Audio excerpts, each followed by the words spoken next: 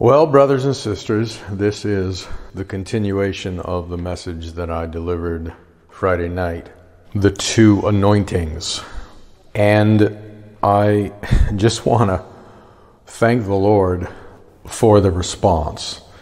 I have spoken many, many times over the years, and some of the responses to the messages that I have brought, those that the Lord has given me, have been remarkable. And I am profoundly grateful. I remember uh, one of the conferences in which I spoke, there were spontaneous baptisms. And I talked about that in the book Insurgence in the very beginning. But I have never seen a reaction to a message that I have delivered that trumped the one Friday night. And I want to commend Brother Matthew for being sensitive to the Spirit. Of those of you who were there, it lasted at least an hour, and there was no music. And I praise the Lord for that. And I promised that I would deliver the second part of that message. And so that's what this is. Friday morning, as you remember, I talked about living in the conscious presence of God. And we looked at four different marks of the witness of God, of being in His presence. And one of them was affirmation, which is not relegated to, but includes what we call coincidence. And I exhorted you to keep your eyes open. Be aware of the coincidences that happen in your life because oftentimes, if you are walking with Him, those coincidences are affirmations and they have the fingerprints of God all over them. When I flew in to Little Rock, for the conference. Matthew was supposed to pick me up, but there was a last minute change. And the brother who picked me up had a tattoo on his left arm. Now, I do not pay attention to tattoos on people, but I couldn't avoid this one because I was sitting in the passenger seat as he drove me to the cabin from the airport, and his left arm was on the steering wheel, extended. And right there, on his forearm, there was a tattoo that said Psalm 46. And that was the passage that I selected at the last minute to be our main text for the mastermind that I had with the leaders Monday, Tuesday, and Wednesday, Psalm 46. so, right in the beginning of the trip to attend the conference and the mastermind was an affirmation from the Lord. And ever since 2019, I have been keeping a journal of affirmations, whether it's word of knowledge, whether it's words spoken that confirmed what the Lord was doing at the moment through people who weren't even aware of it. And then, of course, the many coincidences. Such things are not coincidences, so to speak, if you're walking with the Lord. God is highlighting something.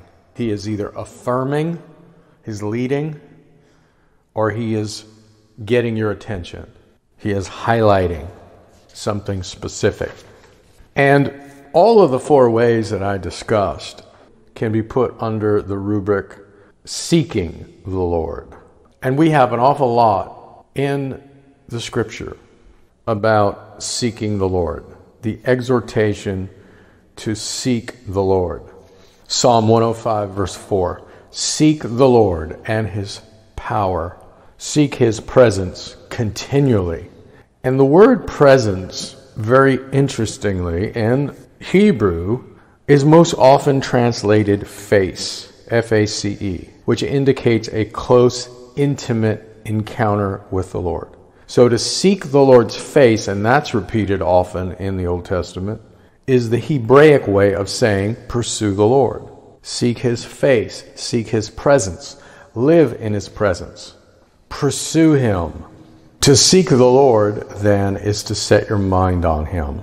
And we looked at many passages in the New Testament that had to do with putting your mind, putting your thoughts on the Lord. And that is one of the ways in which we live in his conscious presence. And one of the questions that comes up, you may have had it yourself, is why does God ask us to seek His face? Why does He invite us to seek His presence? Why doesn't He just show up all the time in a vivid, undeniable way? But instead, we are to diligently seek Him. Hebrews 11, verse 6. I think the best answer that I've ever heard on this came from Dallas Willard. And he said something to the effect that God invites us to seek Him because He wants to be wanted, He wants to be pursued, He wants to be chased. Those are my own words. We are made in the image of God, and as human beings, we want to be sought out, chased, pursued by the objects of our love. There is a part of God that beats as the bridegroom, and he wants to be chased by his bride. This is all over the book of Solomon, Song of Solomon, which is a picture of the monarch and the maiden, the king and his lovely bride. And I also talked about in that same message Friday morning the ability of God. And I used as an example out of my own life some of the books I have written, the messages I brought. Gosh, Friday morning's message and Friday night's message, especially, are an example of what I was talking about. To be able to do things that exceed our natural ability, talents, and gifts. The ability or power of God. This is interesting because it doesn't mean that we have no part to play in it. If you are writing a book, for example, or an article, or even an email, in one sense, it's very human. You have to think, you have to research, you have to craft your sentences. But the ability of God to articulate is part of that process. The strength of God, the power of God, a power that stands behind the words. Whether you are writing or you're speaking, there is an energy that is coming through what is spoken or written. That is the power of the Spirit of God. But again, you have a part to play. And I love this passage out of Colossians, chapter 1, verse 29, where Paul says, I work and struggle so hard.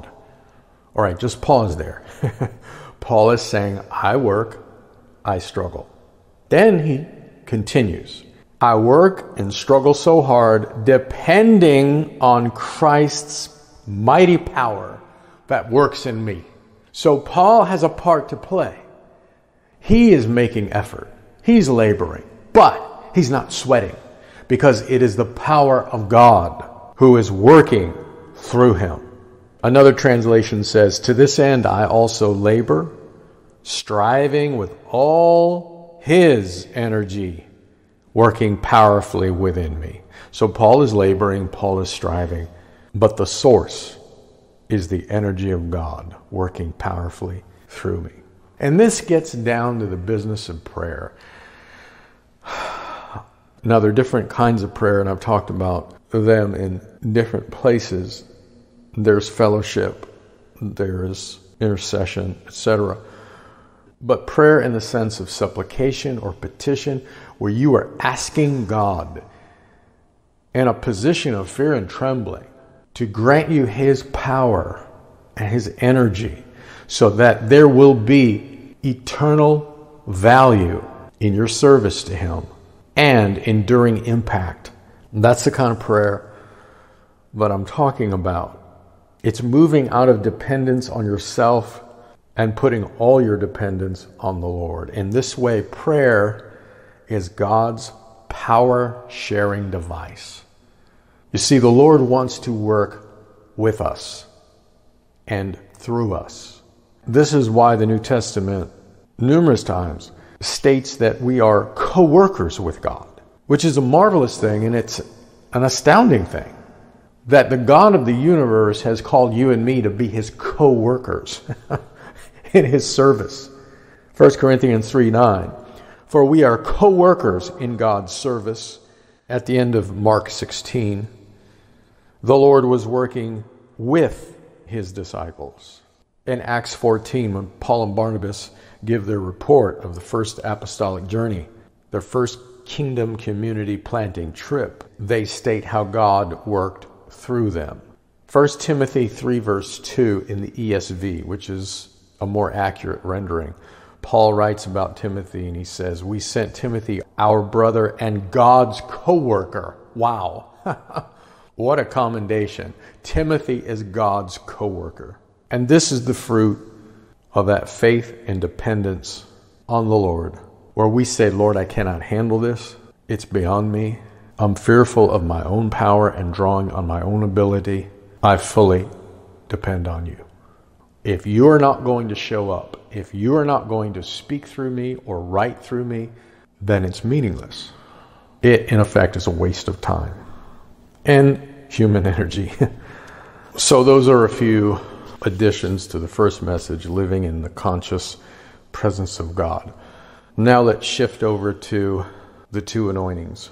The Lord has used it to torch the religious life and service of many so far. And if you have not heard that message, I encourage you to do so. It's on the podcast, Christ is All. So is the first message, Friday morning, Living in the Conscious Presence of God. And I specifically would love if you would share, particularly the second message, the two anointings, with every pastor, with every teacher, with every person who is in ministry of some kind who you know personally.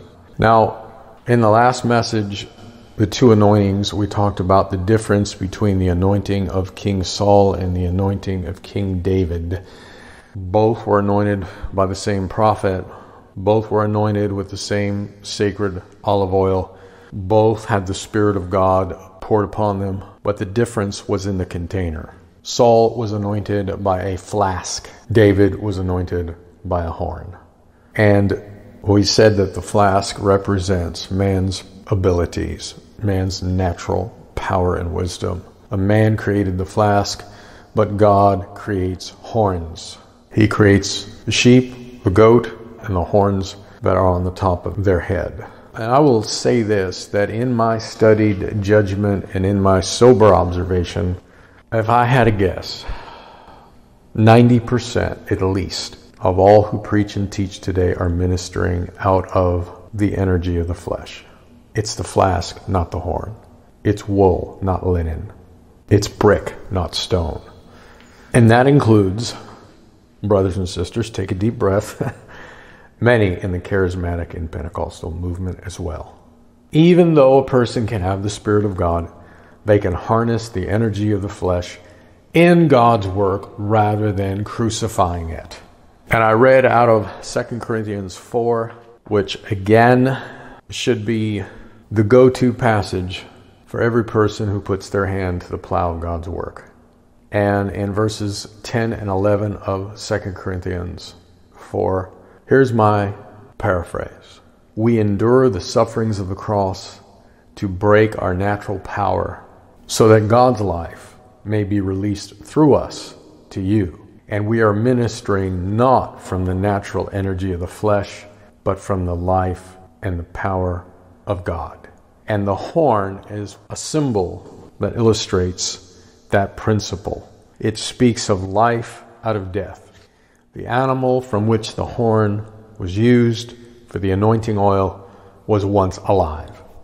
But when Samuel got a hold of the horn, the animal to which it belonged had died, but it contained the anointing oil, a symbol of the Spirit of life. And so, in that way, the horn was resurrected. And, dear brothers and sisters, this is the secret to ministry that has eternal value and lasting impact life out of death.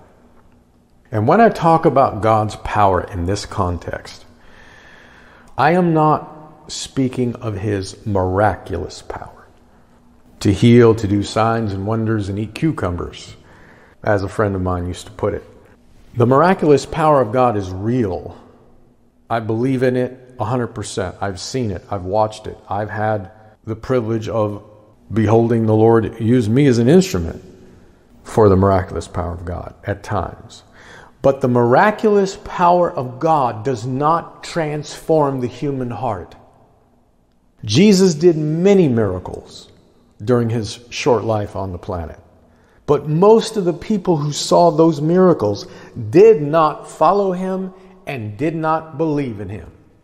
In Luke 16, the Lord gave one of his parables.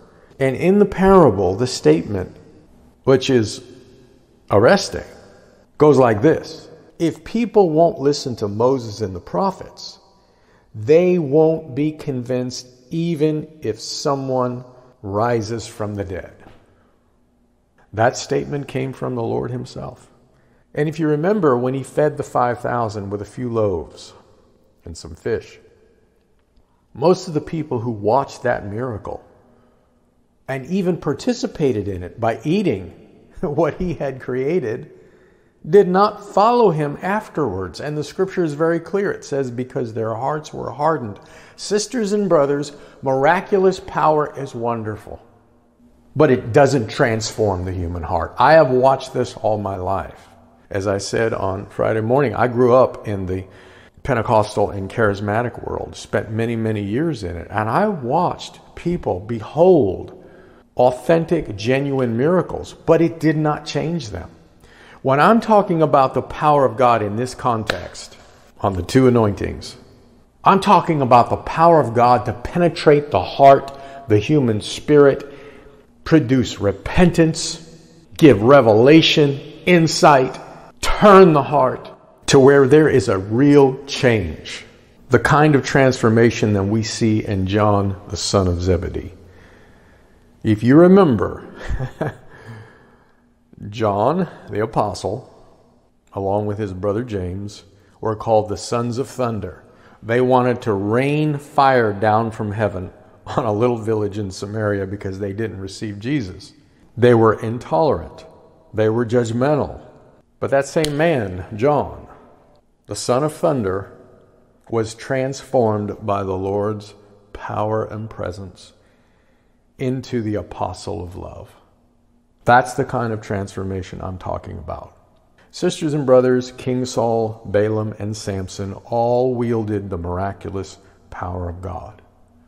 But they all had serious character flaws that ended up destroying them. So when I talk about God's power related to the two anointings, speaking of His energy to transform human hearts through preaching, teaching, exhorting, even through one on one shepherding in a way that reveals the Lord Jesus Christ, his astonishing splendor, his jaw dropping glory, his heart pounding majesty, and his infinite, irresistible beauty. It is Christ who changes the human heart.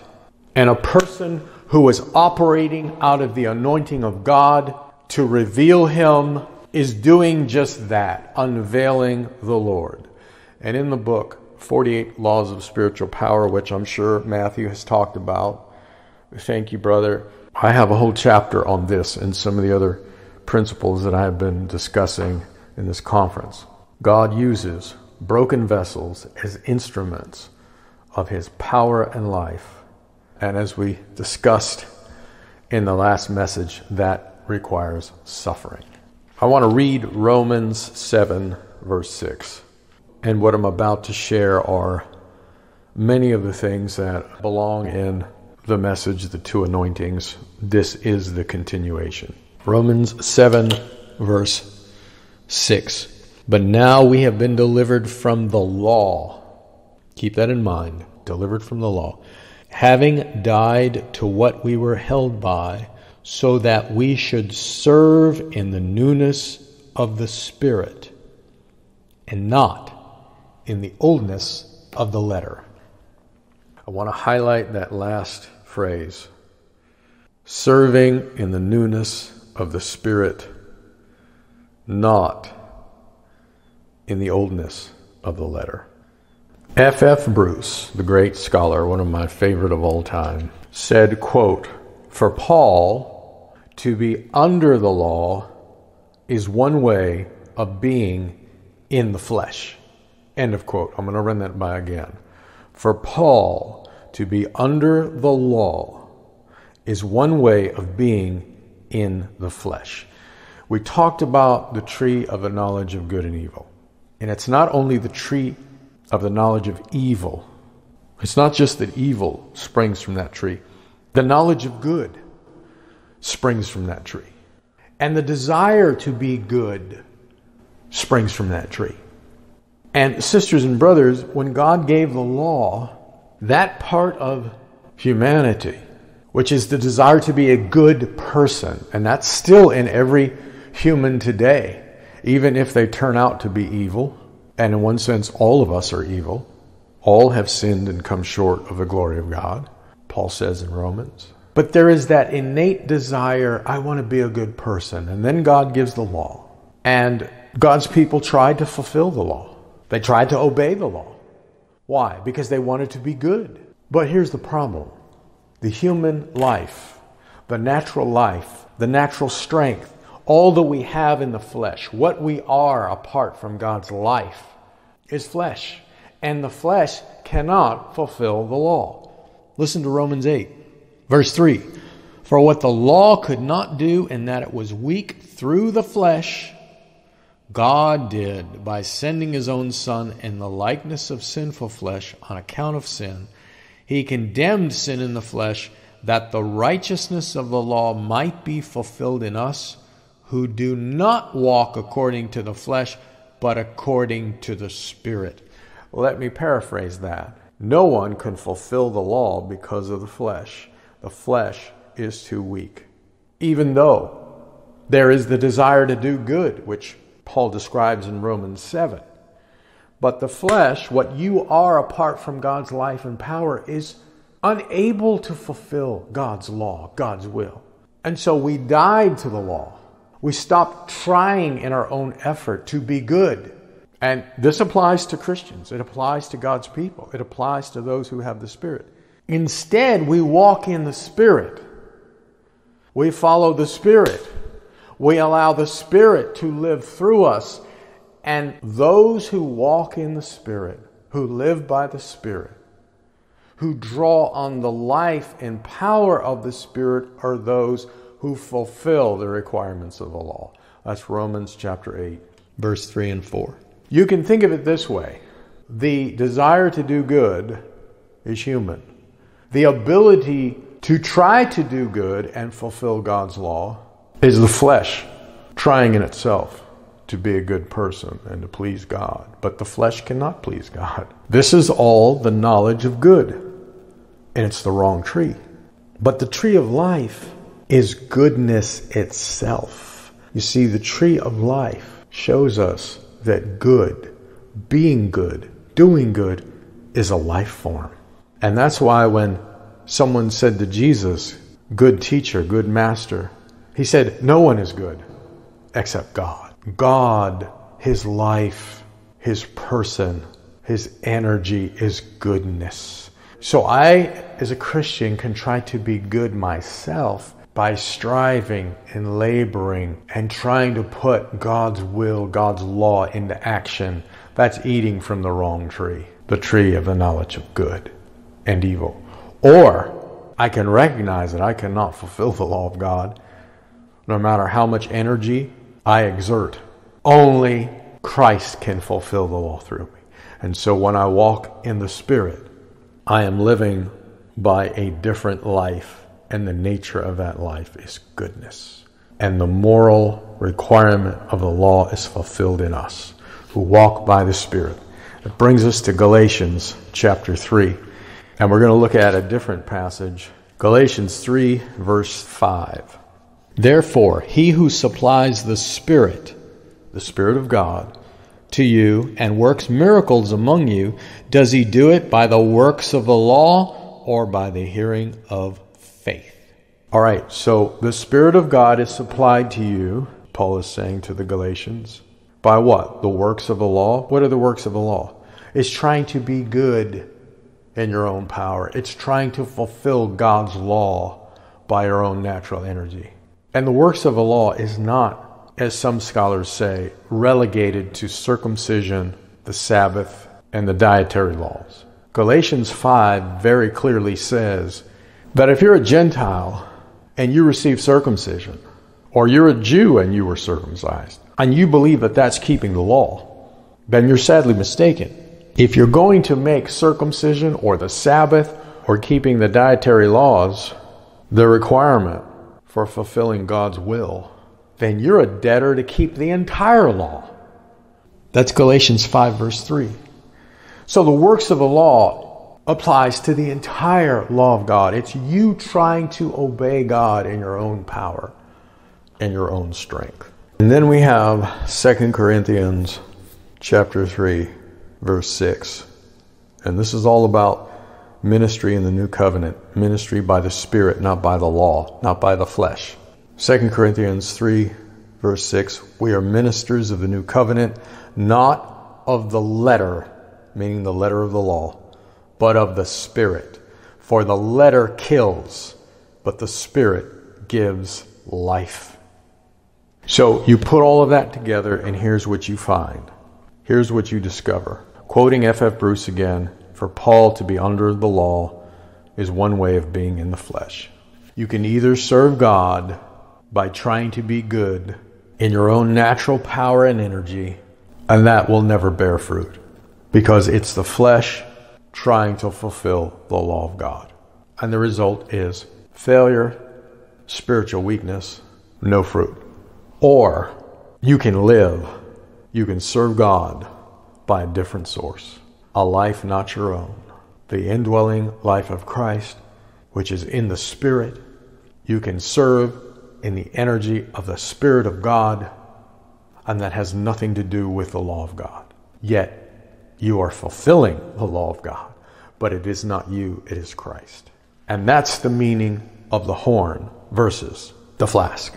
So let's again go back to the differences between King Saul and King David, beginning with their anointings. In David, we have God's way of preparation and promotion. It works from the inward to the outward. If you remember, Saul represented the human desire for a king. He was man's choice, woman's choice. David was God's choice and God's desire. Saul was a king after the flesh, even though he was anointed, and God used him in the beginning.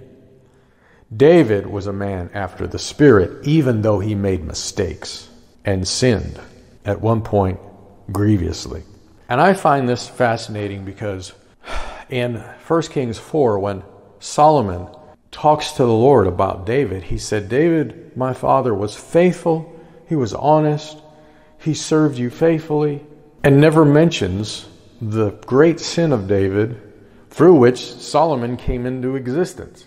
It's because of the forgiveness of God, brothers and sisters. And in Acts 13, when David is mentioned, there's no hint of his sin.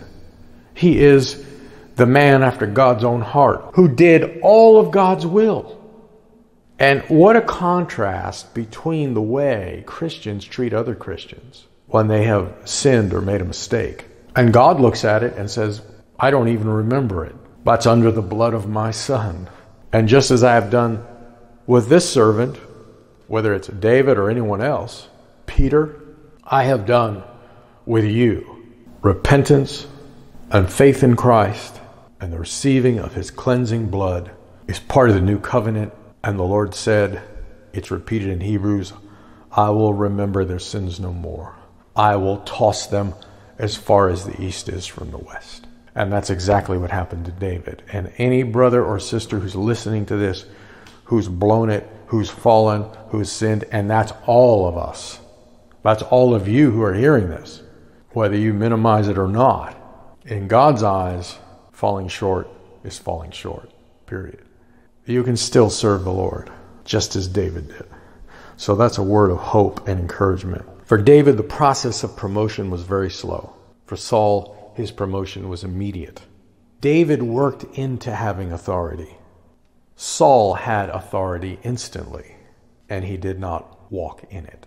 You have the difference between human authority, which is positional authority, and experiential authority, which is spiritual authority. And the way of man is to give a gifted person a naturally talented person a position then put them on a pedestal and hope they'll get experience. But that's not the way of the kingdom. The way of the kingdom is you first are faithful to your father. You first kill a lion and a bear and lay your life down for the sheep. You first slay the giant that no one else will touch. I'm speaking now of David. There were many years between the time that David was anointed by Samuel to the time that David took the throne. There was a lot of preparation. And God gave David a lion and a bear to prove himself, and then a bigger lion and a bigger bear, which was Goliath. That tree of knowledge of good and evil represents independence. Independence from God's life and power, trying to do it on your own, even if it's a good thing, even if it's serving God, you are still living and serving independently, where the tree of life is full and complete dependence on God's life and God's power. Another big difference is that the anointing of God never left David, despite his flaws. But the anointing did leave Saul permanently. David inquired of the Lord before he made decisions, and that takes time. Saul did not inquire of the Lord. If you remember, he took the counsel of a witch and rebelled against his God. A horn grows until it reaches its time. Saul was promoted way too fast, and he ended up being damaged by the power that God bestowed on him and didn't use that power. he used his own flesh to serve God. And because he was in the flesh, he was jealous and threatened by others. He was so gripped by jealousy over David and so paranoid that David was going to take the throne. But David wanted to unseat Saul, which was something all in his head that he wanted to kill, murder David to keep his kingdom. And he did murder the priests of God, the priests of the Lord. The flask in some translations is vial, V I A L. A flask and a vial are the same. But here's the point when we look at Saul the anointing in a vial can make a person vile. V I L E. And Saul was certainly vile. He didn't start out that way, but he became that way. Left to our own devices, brothers and sisters, we all can become Sauls if we are in the flesh and we draw from the flesh. That's where it can lead us. A person who is anointed by the vial or the flask can easily become vile if they continue in the energy of the flesh. The horn also speaks of enduring impact. A flask is going to deteriorate over time because it's made by a man. But horns endure long after the animal upon which it laid died. Consequently, the horn speaks of eternal value and the flask speaks of temporary value. And here it is, sisters and brothers. The source upon which you draw will determine what kind of impact your ministry is going to have.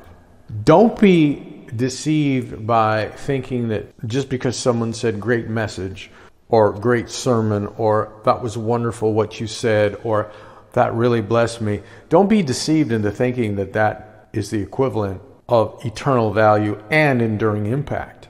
It's not. Compliments, sisters and brothers, are not something you can go by. You can sacrifice and sweat for God, but if it is not energized by God's life and power, it will not bear lasting fruit. Philippians 3, verse 3 For we are the circumcision. We are the true circumcision. We are the true Israel of God, who worship God in the Spirit, not in the flesh. We serve Him in the Spirit. We serve Him in the Spirit. We rejoice in Christ Jesus and have no confidence in the flesh. And he says, I might have confidence in the flesh because, in effect, I lived as a Pharisee in the flesh. And concerning zeal, I was ahead above all my peers. Concerning obeying the law in my own power, I was blameless, at least when it came to the external part of the law. Now, the internal, what the law really means, maybe you didn't commit murder, but if you hate someone, you've just broken that law. And Jesus shows us what the real meaning of the law is in Matthew 5 to 7. No confidence in the flesh. The self putting itself forward in the service of God, exerting its own strength. And Jesus says, If you will follow me, if you will serve me, he must deny himself. That's your natural energy, brothers and sisters, your natural power, your natural strength, all that you are apart from God.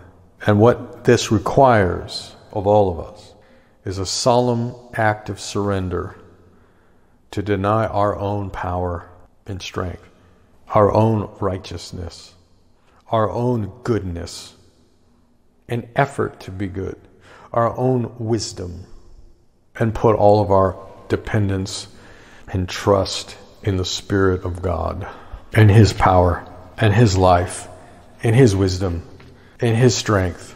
What ministry really is, in effect, is the overflow of life, spiritual life.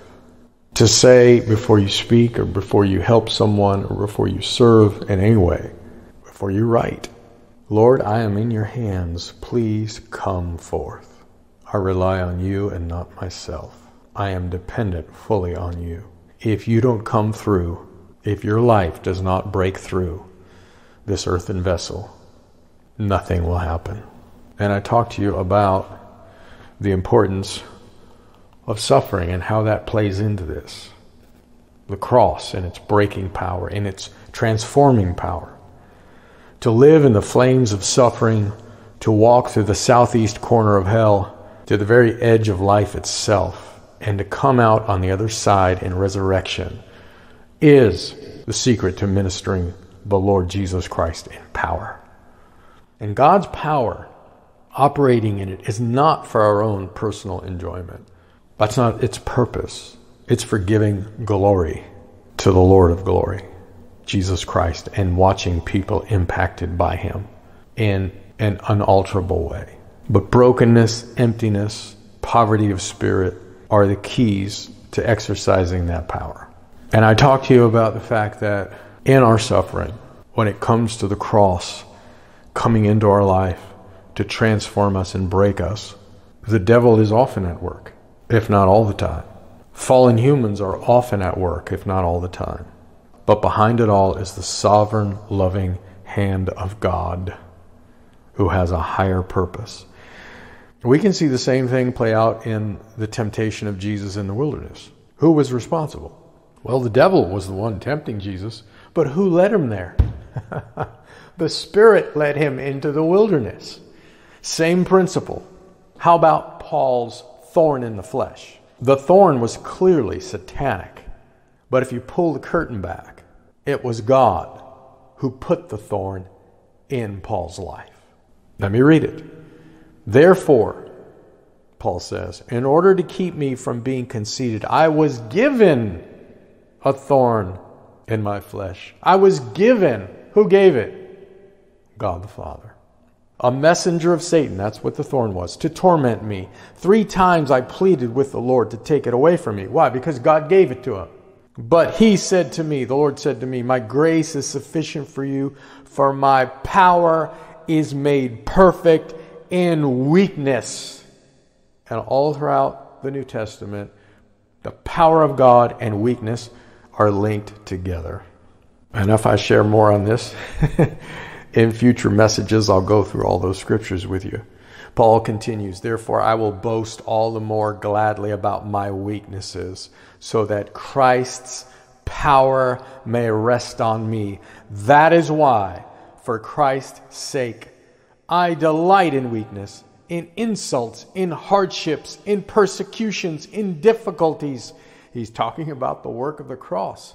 For when I am weak, then I am strong. 2 Corinthians 12, verses 7 to 10. That's Paul's theology of suffering. God uses sufferings, trials, tribulations, afflictions in the lives of his people to form Christ into their character and to release the power of God through them. God's work, done God's way, by God's power will receive God's blessing in transforming human hearts. 1 Peter 4, verse 11. If anyone speaks, they should do so as one who speaks the very words of God. If anyone serves, serves the Lord, they should do so with the strength God provides, so that in all things God may be praised through Jesus Christ. To him be the glory and the power forever and ever. Amen. 1 Corinthians 15:10. By the grace of God I am what I am, and his grace to me was not without effect. No, I worked harder than all of them, talking about the other apostles. I, Paul, worked harder than all of them, yet not I, but the grace of God that was with me. You can translate that to say, I worked harder than them all, but it wasn't me that was working on my own. It was the power of God.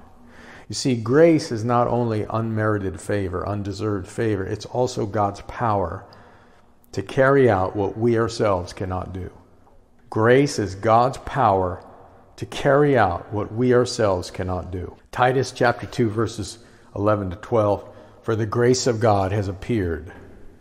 It teaches us to say no to ungodliness and worldly passions and to live self controlled, upright, and godly lives in this present age. See, grace is God's power as well as God's favor.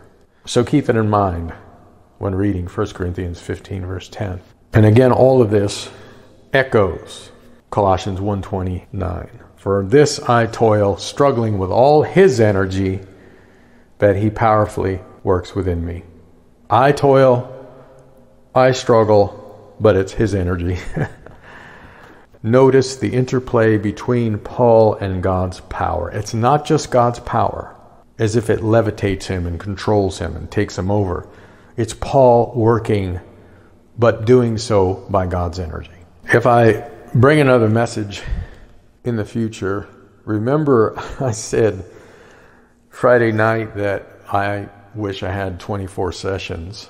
If I am invited by a conference host or a pastor uh, to deliver messages on serving by God's power, which is the theme that I've been speaking on, I'll talk about the fragrance and aroma of Christ, ministering out of his life and power, and the result of that being a sweet aroma or fragrance or savor of Christ coming through us as we allow the cross to cut deeply in our life that deep work of Christ in his cross so that his aroma can come through us.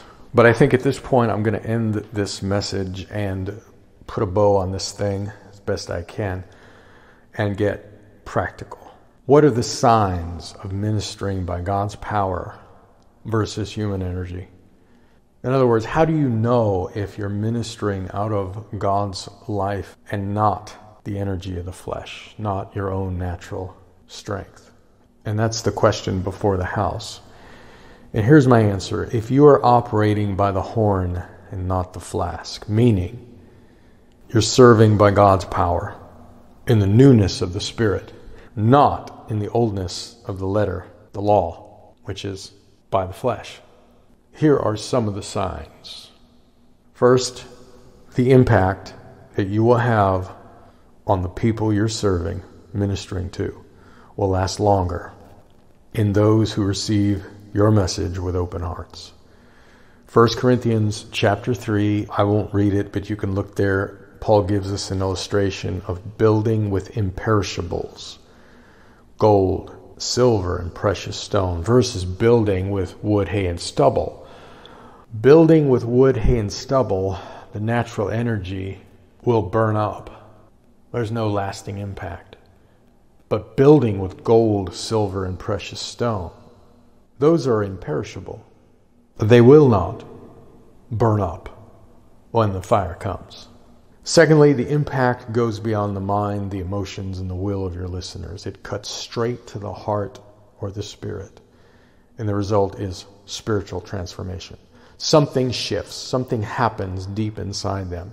It could be a revelation of Christ, an unveiling of Christ. It could be conviction over sin, which comes by the enlightenment of the Holy Spirit. It could be repentance. It could be an altering of their life or even in their ministry in some way. Something dramatic happens that goes beyond the human soul, right down to the spirit. Another sign is your words flow like oil. The articulation is beyond your natural ability. Another sign is there is a wisdom that unwittingly seeps out, goes beyond your preparation, a wisdom that exceeds your own.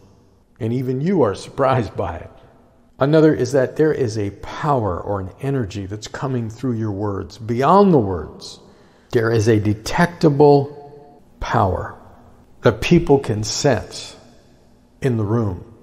I remember uh, there have been times where I have shared messages and people have said something happened in that room that was beyond words.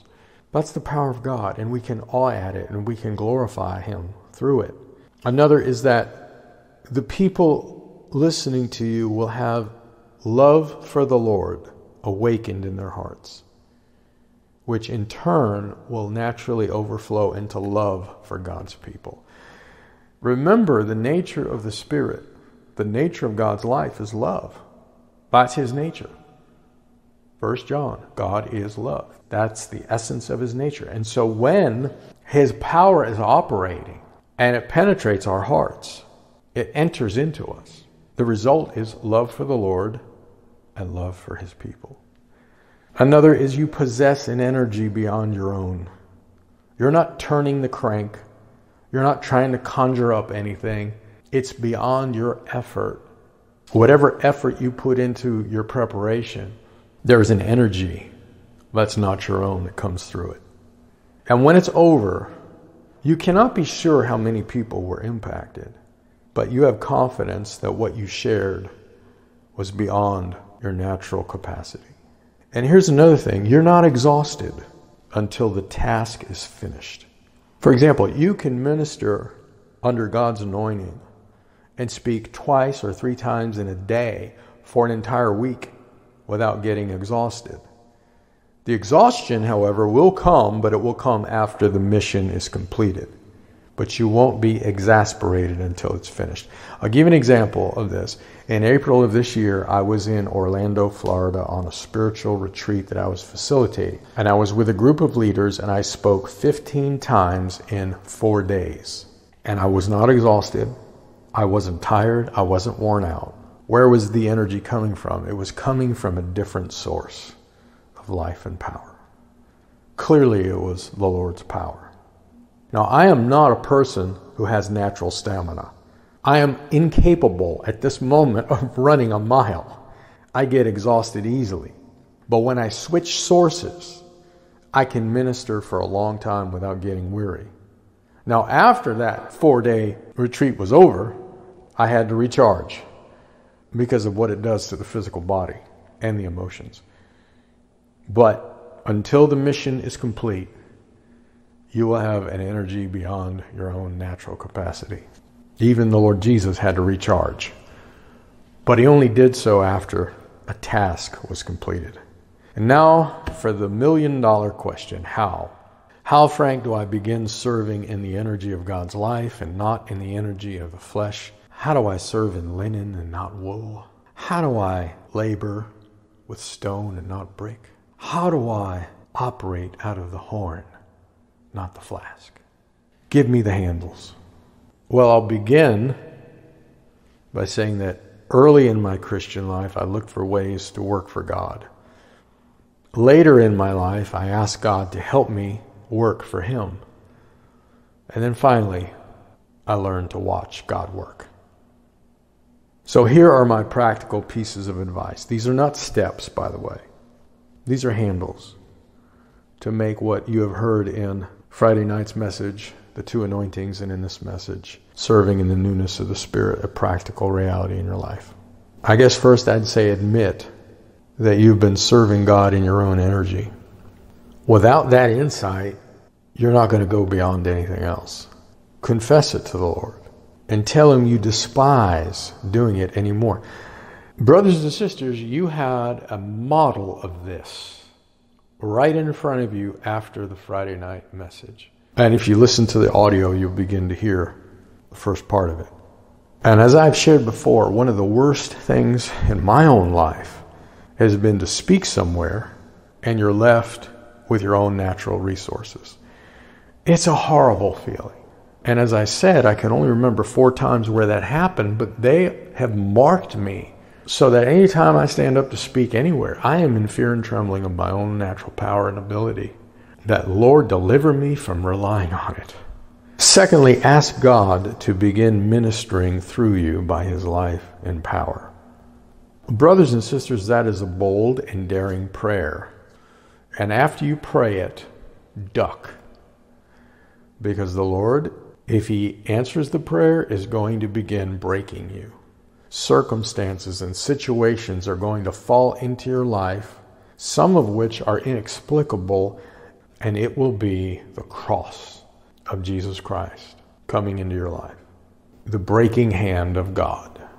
And following that, I would say allow, permit His breaking in your life. Don't fight against it. Don't resist it. Don't blame other people. Don't blame God. Even the people who are in your trial, who are wreaking havoc on your life, don't blame them.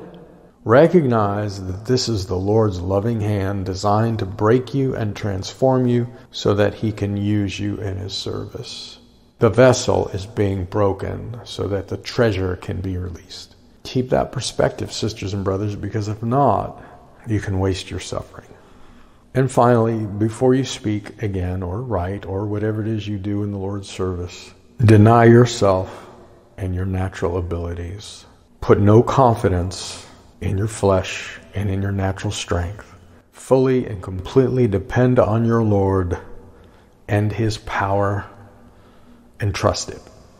Trust it ask other people to pray for you as well. I do this myself. Uh, before this conference, I asked a number of people, friends and family members, to lift me up to the Lord because I am so sensitive that I cannot draw from my own natural power. It has to be the Lord speaking through me, else it's a big waste of time and energy. And this is the essence of faith. Faith is expecting God to be and do that which you cannot do. It's expecting God to be and do that which you cannot do yourself. And so believe. Put yourself under the waterfall of God's Spirit. Get on your knees, get on your face, cry out to Him for His power and His strength. Not so you will look good, but so He will be glorified and God's people will be touched. Get your mind off yourself as much as you can. Put your mind on the needs of God's people, or if you're ministering to the lost, the needs of the unsaved, and the glory of Jesus Christ, your Lord. I will close with words by Rick Warren. God is more interested in your character than your comfort.